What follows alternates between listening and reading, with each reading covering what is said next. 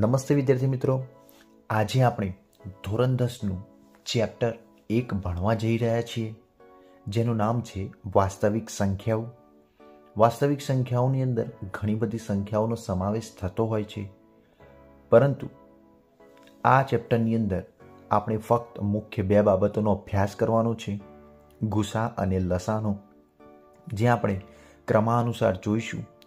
ઉદાહરણ સાથે અને સ્વાધ્યાયના દાખલા સાથે આપણે આ ચેપ્ટરને શાંતિપૂર્વક જોઈશું અને તમારા બોર્ડની તૈયારી પૂરેપૂરી કરીશું.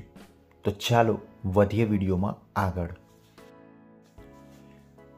વિડીયોમાં તમને સ્પષ્ટપણે દેખાઈ રહ્યું હશે કે ગુસા અને લસા બંને આપણે સમજવાના છે. ગુસા એટલે આપેલી સંખ્યાઓમાં રહેલા સામાન્ય અવિભાજ્ય અવયવના નાનામાં નાના ઘાતાંકવાળા પદોને ગુણાકાર કહેવાય. લસા આપેલી સંખ્યામાં રહેલા તમામ અવિભાજ્ય અવયવોના મહત્તમ ઘાતાંકવાળા પદોનો ગુણાકાર. અહીંયા વ્યાખ્યા આપણે સમજવાની નથી, પરંતુ એક વખત વ્યાખ્યાને જોઈ લઈએ તો આપણને એના વિશે વધુ માહિતી મળે. આપણે અહીંયા એને સિમ્પલ અને સરળ પદ્ધતિથી એને મેળવવાનો પ્રયત્ન કરીશું. અવિભાજ્ય અવયવો. અવિભાજ્ય અવયવો એટલે કે જે અવિભાજ્ય સંખ્યાઓ દ્વારા અવયવો પડતા હોય, તેને અવિભાજ્ય અવયવો કહેવાય. જેમ કે, આ દસ છે, તો એ દસને બે અને પાંચ વડે ભાગી શકાય. તો આપણે બે અને પાંચ વડે એને ભાગ્યું.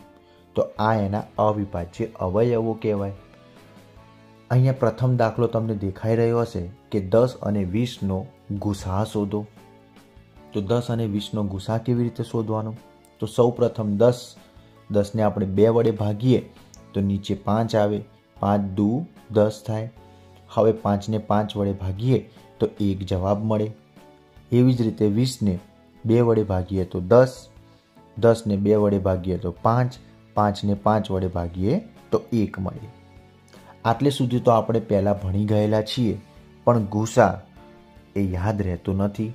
તો ગુસા માટે આપણે જે બંનેમાં સામાન્ય સંખ્યાઓ આવતી હોય, જે બંનેમાં સામાન્ય સંખ્યાઓ આવતી હોય એ સંખ્યાઓ આપણે લેવાની રહેશે અને એ બંનેનો ગુણાકાર કરવાથી આપણને અહીંયા ગુસા દસ મળે છે. તે જ રીતે લસા શોધવા માટે બંનેનો સાથે અવયવો પાડવાના રહેશે. બેનો દસ વડે ભાગાકાર કરીએ તો પાંચ અને અહીંયા દસ મળે છે. એને આપણે બે વડે ભાગીએ તો પાંચને બે વડે ન ભાગી શકાય. એટલે આપણે પાંચને એમનેમ ઉતાર્યા પરંતુ દસને આપણે બે વડે ભાગી શકીએ તો નીચે તમને પાંચ મળશે. હવે નીચે પાંચ પાંચ બે વખત છે તો આપણે એને પાંચ વડે ભાગી લઈએ તો બંનેમાં એક એક જવાબ મળી જશે. લસા શોધતી વખતે આપણે કોઈનું સામાન્ય લેવાનું નથી. આપણે ત્રણેયનો ગુણાકાર કરવાનો રહેશે. આપણે ત્રણેયનું શું કરવાનો? ગુણાકાર કરવાનો રહેશે. એટલા માટે તમને અહીંયા શું મળી જશે? વીસ. તો આ હતો આપણે ગુસા અને લસા. હવે આપણે ચોપડીના ઉદાહરણ તરફ જઈએ.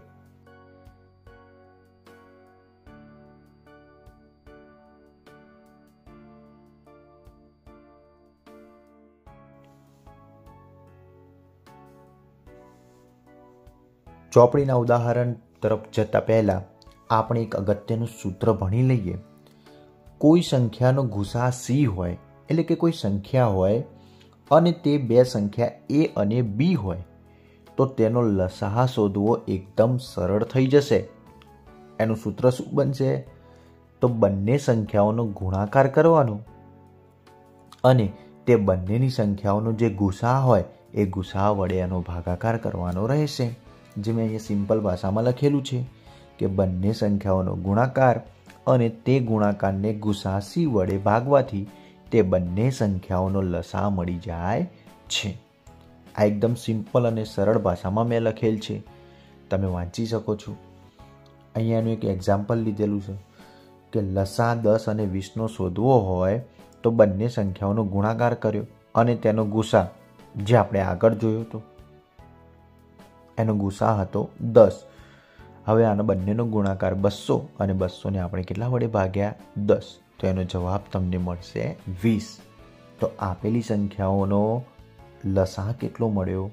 વીસ.